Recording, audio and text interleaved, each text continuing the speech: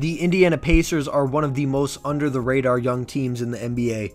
From trading for Tyrese Haliburton to drafting Ben Mathurin in 2022 to selecting Jarace Walker, signing Bruce Brown, and trading for Obi Toppin in 2023, Indiana has quietly been building a strong young core. NBA fans could be in for a shock with this Pacers team next season, but even if they don't go for it right now, the Indiana Pacers should be a team to watch in the coming years. Starting off with one of the major shocks of free agency, the Pacers signing Bruce Brown to a two-year, $45 million deal. Now listen, there are many reasons for this seemingly absurd annual value, one being that Bruce Brown is an elite role player during a recent championship run, another being new CBA rules requiring teams to spend at least 90% of their cap space, which definitely impacts young teams with much of their centerpieces on rookie deals the most. And last up, listen, I mean no disrespect to my Indy people, but the Pacers needed to offer an exorbitant amount to attract someone with widespread interest to a cold city square in the middle of the country.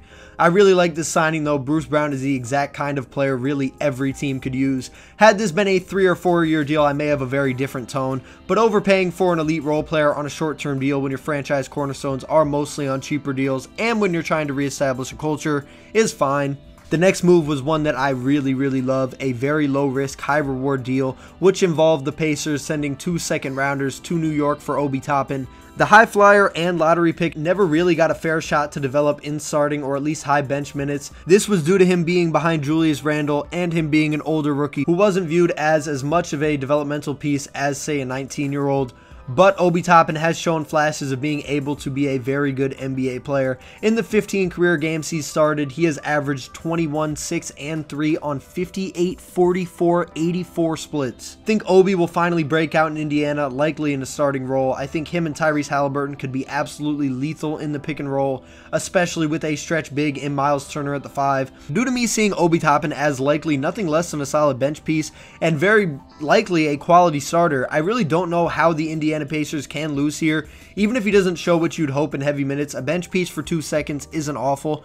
But I think Obi has it and just hasn't had the chance to show it in a crowded front court in New York. Now to get on to Mr. Haliburton, who just secured a five-year, $260 million deal. This is a guy who I absolutely loved coming out of Iowa State and who I thought the Knicks should have selected over Obi Toppin, funnily enough, and I also wanted my Sixers to trade up to get him, but I was cool with us getting Tyrese Maxey at 21. I also wanted the Sixers to do the rumored deal centered around Haliburton, Buddy Hield, and Ben Simmons, but anyways, the 23-year-old made his first All-Star team last season, averaging 21, 4, and 10 on 62.4% true shooting. Despite his pretty nasty looking jump shot, Tyrese has shown potential as an elite shooter, shooting 40% from three last season on seven attempts a game.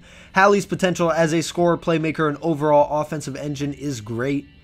While the Pacers will need another star to become a true contender, which they hope they have in Benedict Mathurin and or Jarace Walker, the Sabonis for Haliburton deal was an outstanding move to begin a rebuild with. Next up, we have Benedict Mathurin, the Pacers selection with their sixth overall pick in 2022, who averaged 17, 4, and 2 in his rookie season. The young guard has shown great scoring flashes and appears to really have his head on straight in his approach to the game and understanding the work that will be necessary to get where he wants to go. You may know him from saying he's better than LeBron, and this statement he made around the draft shows the type of confidence that this young kid has. While Myles Turner is obviously an elite big man, I don't really feel like I need to get into what he does too much. You know, we, we, we all kind of know at this point. He was drafted in 2015. But I also love guys like Buddy Hield and TJ McConnell. But in all honesty, I don't know if the Pacers roster looks like it does right now when the season starts. But I could be wrong given the fact that they have already made a couple moves. And hey, I mean, a depth chart of Hallie, TJ McConnell, Ben Mathurin, Buddy Hield, Bruce Brown, Aaron Nesmith, Obi Toppin, Jarace Walker, and Myles Turner slash Daniel Theis slash Jalen Smith feels like an outstanding blend of playmaking, scoring, versatility, shooting, and defense. This combined with a great coach in Rick Carlisle, I think is the perfect blend for a shocking regular season. While I don't want to say a seed number, I think if things go well, we could be having the Indiana Pacers in discussions with teams around the 5 to 8 seed mark in the East.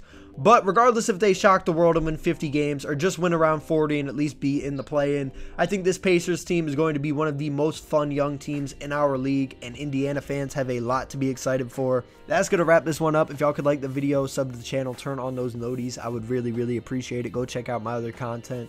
And, you know, I mean, comment any video ideas down below. Again, I just uploaded a Suns video. This one should be coming next, you know what I mean? So, you know, again, like, y'all teams, you know what I mean? I, have made a video about your team. If I had, you know, I, I might have, go, go, you know what I mean, go Pete. But if I haven't, you know, let me know. Like, you know I mean? Let me know. Let me know. That's all I'm to say. But, yeah, I'm out of here. Peace.